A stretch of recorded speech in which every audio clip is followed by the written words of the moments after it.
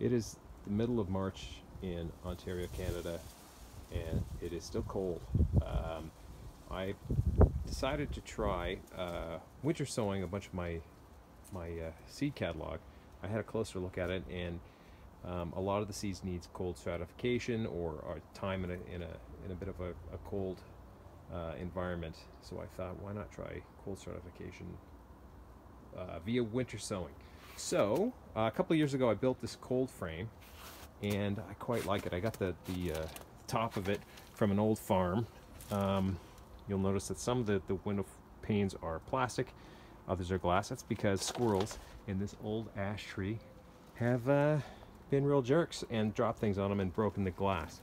Nevertheless, um, there are a bunch of seeds sown in here and I'm hoping uh, I'm going to get some good results from these. It's the first time I've ever tried it um, and the thing I like about this cold frame is it just kind of looks nice.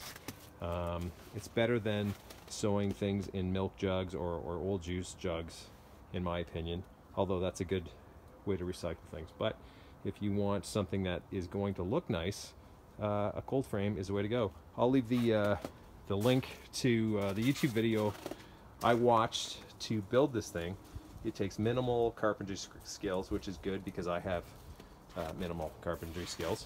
Um, it was an afternoon's worth of work, and uh, and there you go. Um, I use this thing all year to uh, protect plants from um, frost and, and, high winds, and it just kind of looks nice. Uh, so I'll keep you updated on how these things go, and I'm gonna go inside because I've decided to wear sandals for this, which was a mistake, and uh, I think I might lose a toe. All right, take care.